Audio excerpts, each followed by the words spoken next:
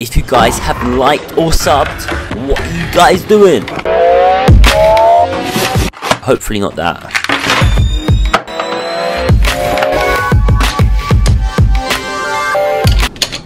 I'm actually terrified of medication, so I decided to eat really well.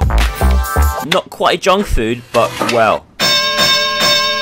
And exercise loads to achieve my best, healthiest self. My success, victory, triumph.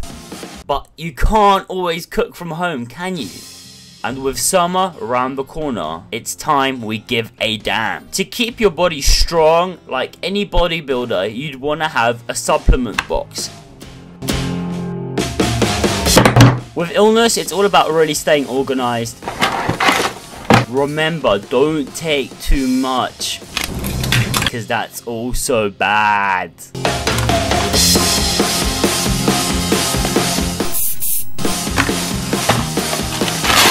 weakens the contractions in my gut, so less pain.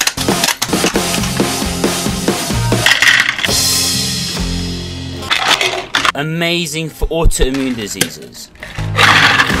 Everybody's different, but my iron is actually my coffee. Strong opiates, just in case. CBD oil. Immune system turbocharge time activated charcoal.